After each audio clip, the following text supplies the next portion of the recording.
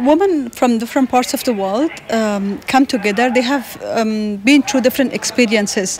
Uh, they have been through very challenging life, but uh, we don't know about each other's problems and, uh, and about ways to come forward. So it's uh, very important that we come together and we share the common problem and the common solution. As a woman politicians um, uh, um, and as a woman activist, when you get stronger, you face um, bigger challenges because uh, the world always wants to see women weaker and women passive. So if you become active and stronger, then you face challenges. There are challenges from extremism and conservatives. Uh, conservatives. There are security challenges. Um, and if you talk about women's rights, it's very easy to be labeled, different labels, including your outlook.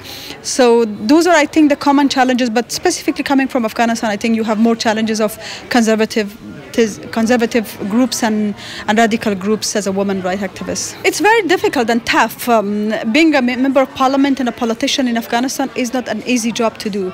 It's very tough, but in the meantime, when you bring some changes in some women's lives, that's the that's the time you think that you should go on or, or when you think that you can contribute to any change in your society for positive change that's something that keeps you going on. So there are days that when i go home i think it should be my last day in politics.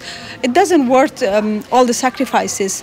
But when i wake up the next day and the first telephone call i receive from people who need my help and they ask for, for a favor for something to do for them. That's something that keeps keeps going. So the demand for what you do is i think the strength um, for an individual. We all can contribute to a positive change in whatever area of work we do.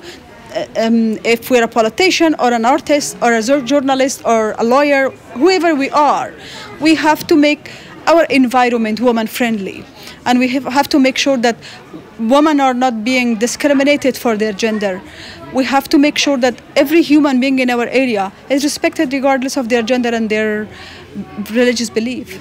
I think we have to bring come together and we have to support each other.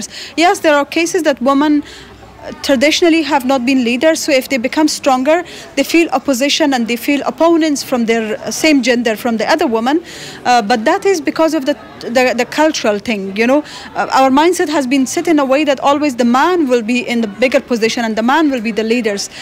Sometimes we do feel that uh, constraints but i think we have to keep out of our small boxes uh, which we're happy with our computer and office and luxury life but we have to look at the bigger world